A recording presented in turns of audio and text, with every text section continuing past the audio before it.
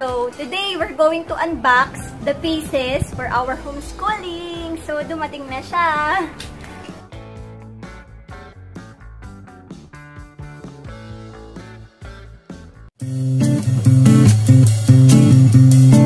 At kung bago lang kayo, please like and subscribe! Uh, almost 4 weeks din dumating. Meron tayong gold. Ating buksan ang.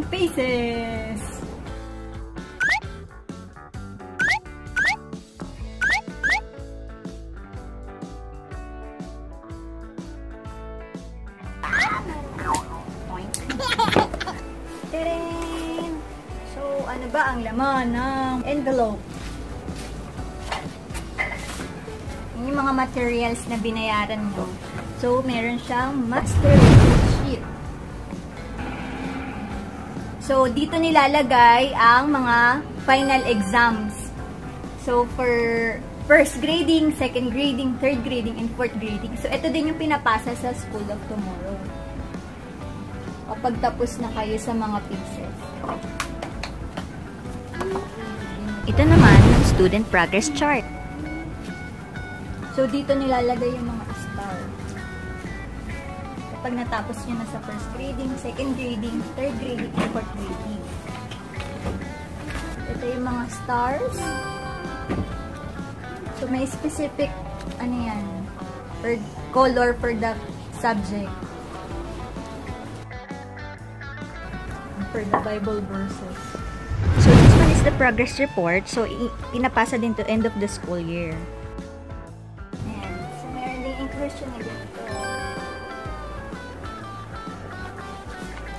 One, yan. Card. For the goal per day. Diyan yung ilalagay yung mga subjects, yung per day na natapos mo na. So, dito siya. Ito yung mga pieces for the whole year. Nung grade 1 siya, dahil first time namin, meron pang kasamang flag. Yung Philippine flag and yung Christian flag. May meaning to kapag ito yung itinaas niya and then ito yung itinaas. So, hindi siya, habang nag-aaral siya, hindi siya pwedeng tumayo ng tumayo sa kanyang working station unless kung may itatanong siya, kung itataas niya itong mga flags nito. So far, kompleto naman lahat ng subjects na nakalagay dito sa packing list. So, kailangan i-check nyo yan kasi yan yung gagamitin nyo for the whole school year. Ayan. So, yung anak ko, excited na daw siya na mag-aral ulit. So, ngayon, mag-start na ulit kami mag-aral since nandiyan na yung mga pieces niya. So, ito yung maganda sa homeschooling kasi kahit nasa bahay kayo, katulad niyan, pandemic, nakakapag-aral kami dito sa bahay. Actually, pinag-pray namin talaga to ng matagal and So far naman, hindi naman kami nagkamali sa decision namin and katulad ngayon, nagkaroon ng pandemic. So, sobrang napaka advantage niya sa amin. Hindi na namin naging problema yung schooling ni Riley. After namin ma-submit yung mga needed requirements nung natapos namin yung school year 2019 and 2020, then nakapag-enroll na kami and nakapagbayad. Ayan, so after 4 weeks, nakuha na namin yung materials niya pinadala through LBC. Dati kasi, sa Ortigas namin siya kinuha for the materials. Since pandemic ang ginawa namin, nagbayad na lang kami online, then pinadala na lang nila sa amin through LBC. So, yung sa LBC na to, kasama na siya sa binayaran namin sa materials, 400 pesos inabot. This one, talagang pinag-pray din namin to ng matagal last year. So, inisip kasi namin kung regular school ba or homeschooling. So, ako kasi, ang tansya ko din kay Riley, kaya naman namin mag-schooling kasi ako, kaya ko din siyang turuan since nung kahit hindi pa siya nag-aaral, so i-start ko na din siyang turuan.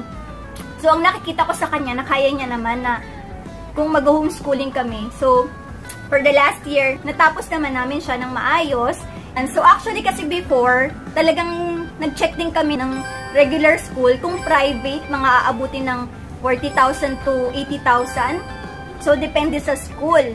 So, this one, mas napamura kami sa homeschooling. Kasi nga, sa umpisa, halos 30,000 or 35,000.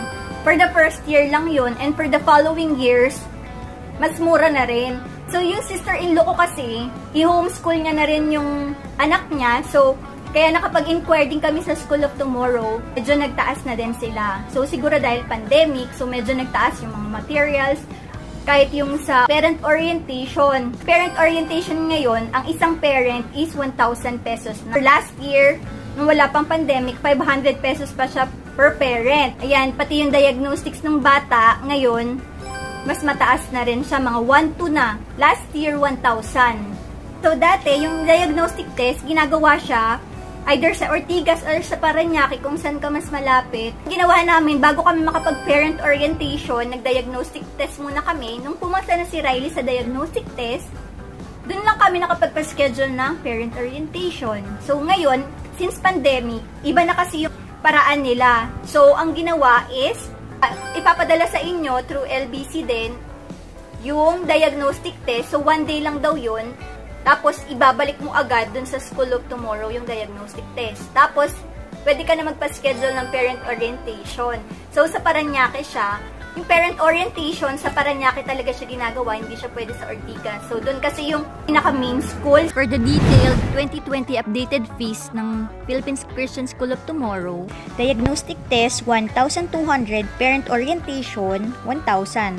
detailed enrollment fee, family registration, 18,000, one time lang to. Student registration, 3,000. Matriculation fee, 4,000, one time lang din. Academic fee, 3,000. Material fee, 5,172.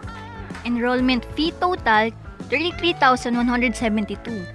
So that's just for the first year.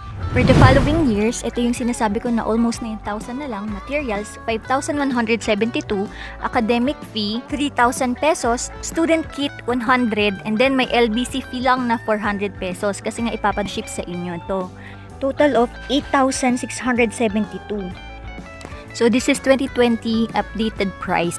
Ayan. So, for this one din pala, meron din Yearly, merong 2-day educators convention. So, this year, hindi ko lang din alam kung anong mangyayari since bawal pa ang mass gathering. So, siguro i-inform na lang din nila yung mga parents. Importante yun na makapunta ka. Ayan, ipakita ko na din sa inyo. Ito yung pace. So, 8 subjects na kami for grade 2. So, on the first page, maganda siya kasi meron siyang verses. Goal and instructions. So, sa pinakagitna, Nasa gitnang page ang pace So, test. bago mag-start yung bata, kailangan naalisin niya to. Bago niya sagutan or yung mga activities niya. So, kapag tapos na siya sa self-test dito, saka lang kayo mag-move on to sa pinaka-final exam. Kami ng asawa ko yung mag-check dun sa paces ni Riley. So, ang maganda dyan, syempre, kailangan truthful din kayo. So, kayo kasi yung mag-check, kayo yung magpapa-exam. So, dapat yung exams, huwag nyo dayain. Kung ano yung capacity ng bata, malalaman nyo kasi sa exam. So, kailangan, hindi nyo siya dadayain. So, yung exam na yun, bago siya mag-exam, kailangan review ka review kayo. So, para pagdating ng pinaka-exam, so, makikita nyo kung ano talaga yung alam niya. Yan, for our son, gumagana ang 5 pages per pace. So, this is 8 subjects. So, natapos niya naman for almost 2 hours. Natuloy-tuloy. For the sample checking is like this one. So, after niyang masagutan lahat ng paces niya, doon ko lang i-check.